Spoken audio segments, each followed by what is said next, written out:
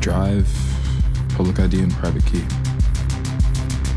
Tumbling is a system that allows us to mix your coins with others, making it impossible to know what transaction led to who or what. You trust him?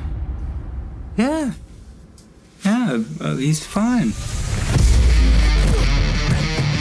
What's on your hard drive? You want to hit me?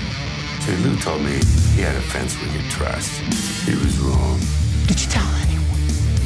No. No, anyone. You got a least favorite toe. You think you could find it?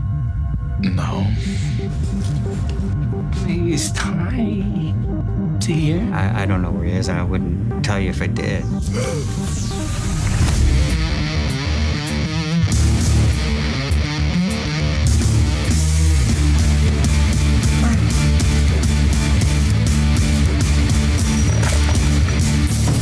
All it takes is one nice run over one of these coins to take off, and I'll be set.